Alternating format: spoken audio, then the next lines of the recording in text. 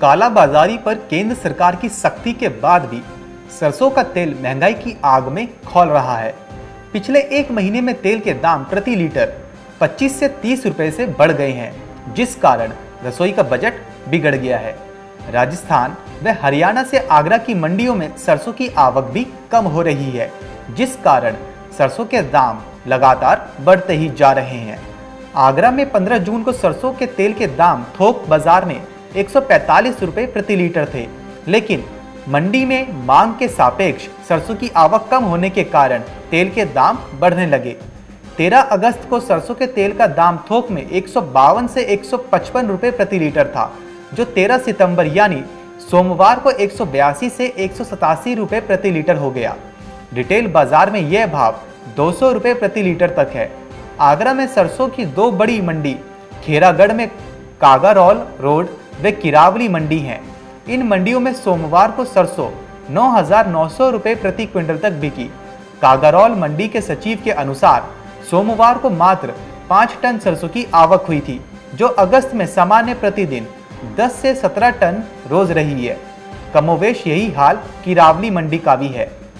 सरसों के तेल उत्पादन में आगरा देश में अग्रणी है। आगरा में छियासठ हज़ार हेक्टेयर में सरसों का उत्पादन होता है। पर मांग अधिक होने के कारण यहाँ की प्रमुख मंडी खेरागढ़ व किरावली मंडी में हरियाणा व राजस्थान से बड़ी मात्रा में सरसों की आवक होती है।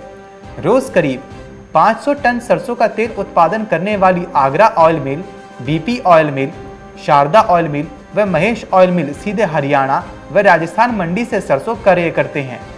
जनपद में छह और ऑयल मिल के अलावा 200 से अधिक एक्सपेलर हैं, जिनके द्वारा रोज करीब 100 टन तेल का उत्पादन किया जाता है। खेरागढ़ मंडी व किरावली मंडी में रोज करीब 2000 क्विंटल सरसों की आवक होती है। इस कारोबार से जुड़े लोगों के अनुसार तो खेरागढ़ मंडी व किरावली मंडी के आसपास ही बड़ी मात्रा में सरसों की जमाखोरी की गई है। ये खेल इन दोनों स्थानों के साथ साथ ज़िले में एक दर्जन स्थानों पर और चल रहा है।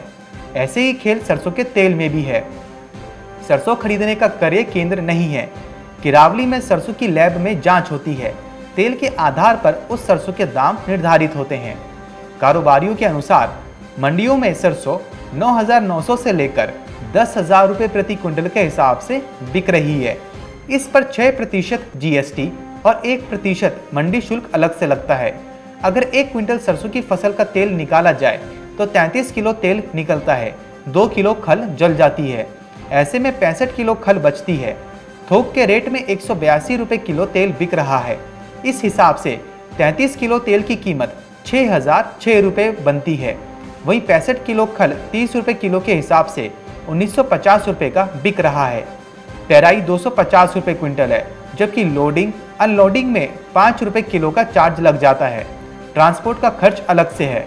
यही वजह है कि बाज़ार में सरसों का तेल महँगा बिक रहा है। Bureau report. Market times TV